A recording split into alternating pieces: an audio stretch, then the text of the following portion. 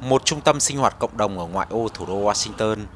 Đây là một trong số rất nhiều trung tâm được các cơ quan y tế địa phương sử dụng để triển khai trích vaccine ngừa Covid cho người dân. Khi có lịch hẹn tới đây, mỗi người đều phải xuất trình giấy tờ tùy thân để xác định có đúng đối tượng được ưu tiên chủng ngừa lúc này hay không và phải điền một bảng câu hỏi về tình trạng sức khỏe cá nhân trước khi vào khu vực chờ được trích ngừa. Trung bình hàng ngày, mỗi trung tâm như thế này tiến hành trích ngừa cho hàng nghìn người mà tất cả hiện là người cao niên trên 65 tuổi hoặc các nhân viên tuyến đầu.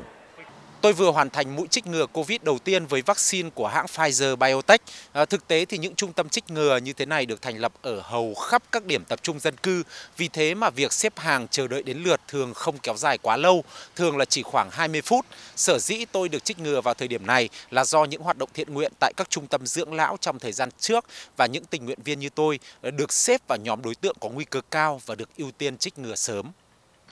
Bên cạnh những trung tâm trích ngừa được các cơ quan y tế địa phương lập ra, thì hiện tại phần lớn các hệ thống nhà thuốc và các khu chợ thực phẩm cũng đã tiến hành trích ngừa vaccine COVID cho người trên 65 tuổi trong suốt những tuần qua. Có thể nói việc trích ngừa vaccine COVID tại Mỹ khá là thuận tiện. Chỉ có điều do nhu cầu quá cao mà lượng vaccine cũng như y bác sĩ tham gia chương trình trích ngừa thì có giới hạn nên những ai nằm trong diện ưu tiên phải thường xuyên chờ đợi và theo dõi qua các hệ thống website để có thể đặt được lịch trích ngừa. Vào thời điểm này thì thời tiết tại nước Mỹ đã ấm áp trở lại, à, đã không còn những cơn bão tuyết à, với lượng tuyết lớn gây cản trở cho việc giao thông. À, vì thế có thể nói chương trình trích ngừa Covid-19 đang vào thời gian thuận lợi và theo nhiều dự báo thì đại dịch Covid-19 tại Mỹ sẽ được đẩy lùi và cuộc sống sẽ dần trở lại như vốn có ngay trong mùa hè năm nay.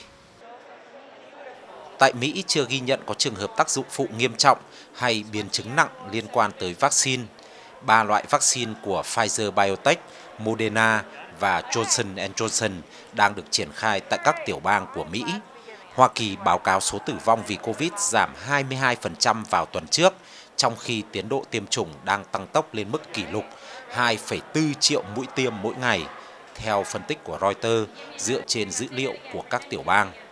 Tính tới giữa tháng 3, 21% dân số Mỹ đã nhận được ít nhất một mũi vaccine, tăng từ tỷ lệ 18% tuần trước đó. Khoảng 11% dân số Mỹ đã nhận đầy đủ hai liều vaccine, theo Trung tâm Kiểm soát Phòng ngừa Dịch bệnh Mỹ.